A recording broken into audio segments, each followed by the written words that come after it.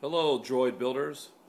These are the DDR2 drive system. These are complete drives ready to go into your uh, R2 build, ready to drop right on in.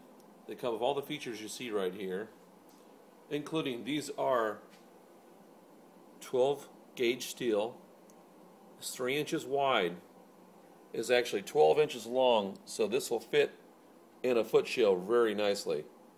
It's four and a quarter long, and it will fit a uh, resin foot shell, a wood foot shell, metal.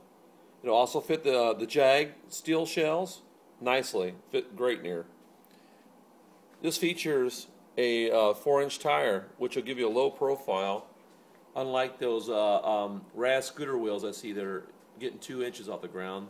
You'll have a low profile tire, and the gear as you can see, is nice and small, so you get full use of the tire. It's not no big gear here where you're not going to get use of the tire. You'll get full use of the tire. Another feature of the tire is right here inside here we have a hole for the uh, to grease the axle. You can grease the axle on these. The chain system is very quiet. It's not noisy, and uh, it's a 32 gear ratio on the teeth which gives you a nice quick droid too. Nice, quick, not gonna be a dog. The rim, I mean, is it's slotted back here for the wheel to be adjusted. And uh, you can see inside here, there's plenty of room. And I want to show you here the reason why we do not touch attach this uh, swivel wheel. We allow you to do that to adjust for certain people who's got their shells the way they got them. And uh, the wheel will come with all the hardware. It's got a swivel ball type caster Spins around, very awesome wheel. No uh, locking up like on some of the casters I see. They're just like a tire type of caster. The swivel ball works awesome. It also comes with the drill, the drill in all the holes for the installation of that.